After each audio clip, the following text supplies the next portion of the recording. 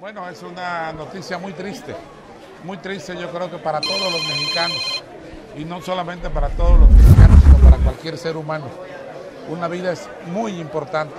Nosotros estamos tristes igual que todos los ciudadanos. Bueno, nosotros pediríamos a los compañeros eh, de la Escuela Normal de Ayotzinapa, a los compañeros de la CETEC, que esto dejaran en libre eh, la vía de comunicación libre que no se nos olvide también de que Acapulco vive del turismo y el estado de Guerrero su mayor ingreso es del turismo.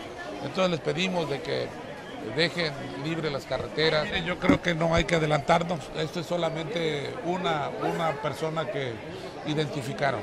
Ya se está trabajando, no ha sido fácil, pero bueno, ya está la gendarmería. Miren, nosotros teníamos esta solicitud del ayuntamiento desde hace varios meses, pero qué bueno que ya la tenemos y vamos a trabajar de aquí para adelante.